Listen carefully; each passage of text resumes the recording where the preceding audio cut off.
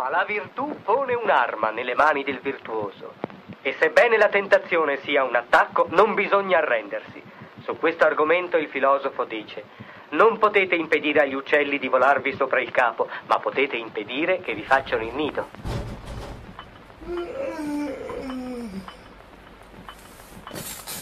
Buongiorno ragazzi.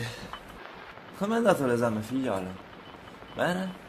No, ma tu sei il solito secchione, ma sempre bene. Scommetto che sei anche uno di quelli che non vuole suggerire. Il professore lo ha elogiato. Ha detto che è il suo primo studente che capisca quello che dice. Eh sì. Tuo padre dovrà essere veramente un uomo orgoglioso per avere un figlio da non portare dal logopedista. Non essere acido. Oh, ma, ma che gioia! Andiamo a teatro questa sera. Che abito mi Oddio. metto?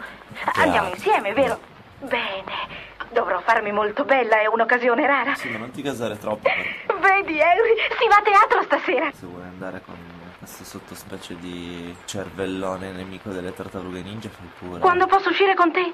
Sei sciocco e non devi dirle queste cose. Sì, sì, sì, sì. Ma quale abito mi metto? Quello azzurro con le piume?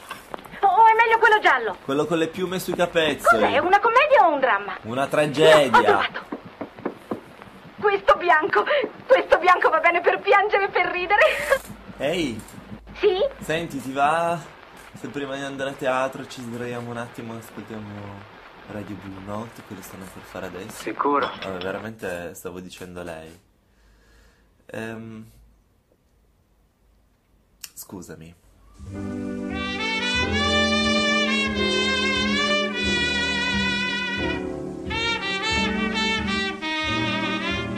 Welcome to Radio Blue Note.